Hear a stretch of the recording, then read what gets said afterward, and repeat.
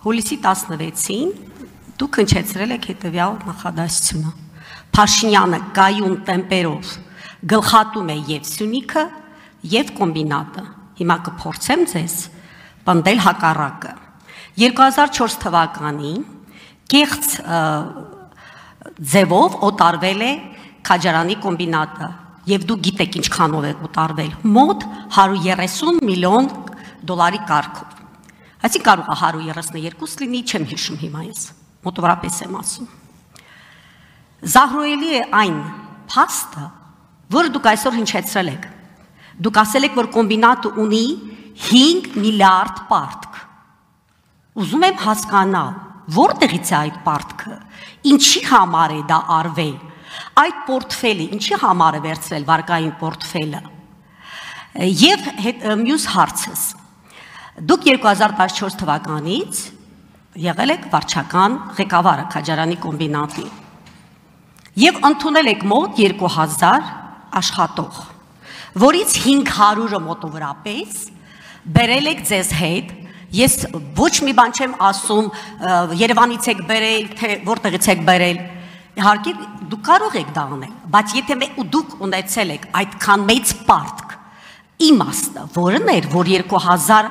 նոր աշխատող եք ընդունել։ Ուզում եմ հասկանալ, ինչու եմ ես այդ հարցը տալիս ձեզ, որովհետեւ դուք հավակնում եք լինել տնտեսական հանձնաժողովի նախագահ։ Հիմա ես ուզում եմ լոգիկան հասկանալ իմաստը որն էր 2000 նոր աշխատակից գուցե դուք պատրաստվում եք ինչ որ մի այլ քաղաքական գործընթացներին ինձ մոտ այդպիսի մտավախություն կար եւ գուցե դուք իմանալով տանում եք հաջարանի կոմբինատը սննկացման ինչպես դա արվել է թեղուտի դեպքում խնդրում եմ պատասխանեք իմ հարցերին շնորհակալություն Տիկին Ղազարյան լոգիկա հասկանալու համար ձեր հարցի մեջ առնվազն այդ լոգիկան պետքա լինի։ Ես այնքան հարցաշար ինչ որ հիշեցի հիմա փորձեմ արձագանքել։ Ինչ 5 միլիարդ պարտք։ Ով ասե որ կոմբինատ այսօր 5 միլիարդ պարտք ունի։ Դա մեկ։ Երկրորդը հնարություն կունենաք արձագանքելու 2000 չէ, այլ 4631 հոգի ա եղել հուլիսի 1-ին 14 թվականի, երբ որ ես ստանձնել եմ վարչական տնօրենի պաշտոնը։ Ինչ 500 հոգի մարդ ես իմ հետ տարել եմ իմ հետ եկել է մոտավորապես 22-ից 23 հոգի մարդ։ Այսա փաստերն եւ տրամաբանությունը այստեղ է։ Եթե ինչ որ մի բան մոռացա, խնդրեմ արձագանքեք։ Ասեք հարցերը դες։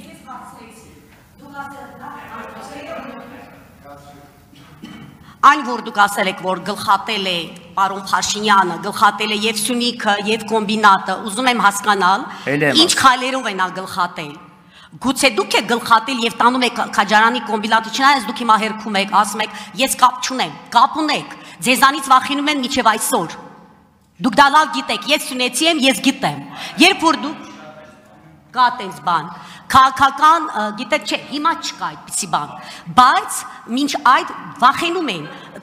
քվարկության արդյունքում դուք տեսել եք, որ Սյունիքը ձայն չի տվել ձեզ, որովհետև այլևս չի վախենում ձեզանից։ Բայց 2014 թվականից իմ գործընկերը ասաց, որ դուք այո ջարդեր եք արել, քանի որ ես կրթության մարդ եմ, ես գիտեմ ում նկատմամբ եք դուք դա արել։ Եվ պետք է, պետք չէ հերքել։ Դուք գիտեք, որ ձեր թիկնապանները ծեծել են երեխային, ով դուրս է եկել միտինգները։ Այո, եւ այ կա, եւ ձայնագրություն կա, եւ վիդեո կա, եւ դա կտրվի ԱՑ-ին, եթե եւ ոչ չի տրվել։ Դուք դա շատ լավ գիտեք։ Շնորհակալություն։ Դուք կարող եմ, հա։ Դուք շարունակում եք նաև նույն ձև գործընկերների մնացած նման վերարտադրել դեղին մամուլը։ Ձեր ասածների մեջ ախր մի մասը չի անհետեցություն, լրիվն է, լրիվ անհետություն։ Այդ ինչ կադրային ջարդեմ ես արել մարսպետ ժամանակ։ Նորից եմ ասում, իսկ ինչ որ ես ասում եմ գլխատում ասյունիկը, այո, փաստում նրանում է, որ 5 համայնքի ղեկավարներ Սյունիքի այսօր կալանքի տակ են։ Բասա ինչա։ Այդ սա համայնքապետ հանցագործները կուտակված էին Սյունիքում, Ինչ վերաբերվում արդյունքներին, Սյունիքը այնուամենայնիվ Հայաստան դաշինքը ունեցել է Սյունիքում ամենաբարձր ցուցանիշներ եւ Քաջարյան քաղաքը միակ քաղաքն է հանրապետությունում, որը հաղթել է քաղաքական պայմանագիր կուսակցությանը։ Մնացածը ձեր գործընկերներին լսեք էլի։ Քաղաքացիական պայմանագիր։ Ներողություն։ Արամ Վարդևանյան։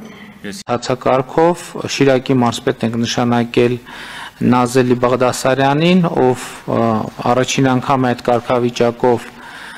մասնակցում կառավարության նիստին, Տիկին Բաղդասարյան, շնորհավորում ենք ձեզ նշանակման կապակցությամբ եւ հաջողություններ ենք մաղթում։ Եթե ես ճիշտ եմ հիշում, եթե սխալ եմ հիշում, ինձ ինձ ուղեք երկրորդ կին մարսպետնա,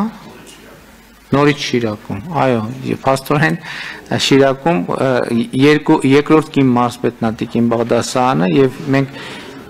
երկու դեպքում էլ Շիրակի մարսպետ ենք մենք ունեցել։ Տիկին Բաղդասարյան, խնդրեմ, եթե ինչ-որ բան ունեք ասելու, համեցեք։ Մեծարգո պարոն վարչապետ, կառավարության հարգելի անդամներ, նախ թույլ տվեք շնորհակալություն հայտնել, որ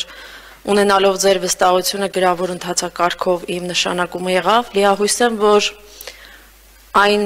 բեռը, որը դրված է իմ ուսերին, կարողանամ իրականացնել մեծ պատասխանատվությամբ եւ նվիրումով եւ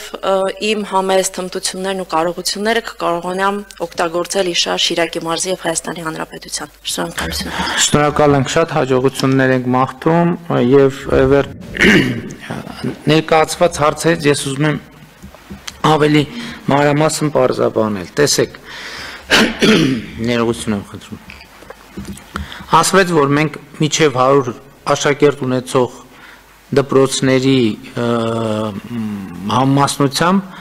ամենամեծ թվով այսպիսի դպրոցները կան Սյունիքի մարզում։ Հիմա բնական հարց կարող է առաջանալ, ճիշտ եմ չէ ասում, տեղեկանքում այդպես բան հարց կարող է առաջանալ, հա, միջև 100 երեխա է, 100 երեխա է, ինչ ինչ խնդիր կա եւ ինչու ենք շեշտում։ Այդ թեմային անդրադարձավ Տիգին Անդրեասյանը։ Սա բան նախարարն էլ ասաց, որ միջև 100 երեխա նկատի է առնվում կարող են լինել 25-30 երեխա այդ ինչը նշանակում է որ ասենք օրինակ Տիկին Անդրեսյան նշեց դասարանները Այսինքն դասերում միևնույն դասասենյակում կարող են նստած լինել ոչ ասենք մի քանի դասարանների աշակերտներ, 3-րդ, 4-րդ, 5-րդ, որոնք ըստ էության մի ընդհանուր դաս ունեն։ Բնականաբար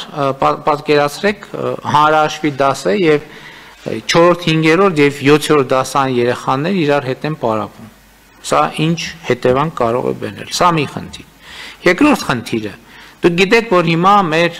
պետության մեջ եւ ընդհանրապես ընդունված է դպրոցներ ֆինանսավորվում են աշակերտների թվով։ Իհարկե կա նաև որոշակի գործակիցներ, մարզերի հետ կապված, լեռնային եւ այլն ամենատարբեր, բայց միևնույնն է, ֆինանսավորվում են աշակերտների թվով։ Սա որոշակի ազդեցություն է ունենում նաև ուսուցիչների աշխատավարձի վրա։ Եվ հետևաբար դեռ քիչ է որ մենք մարզերում ունենք կադրային խնդիր ուսուցիչների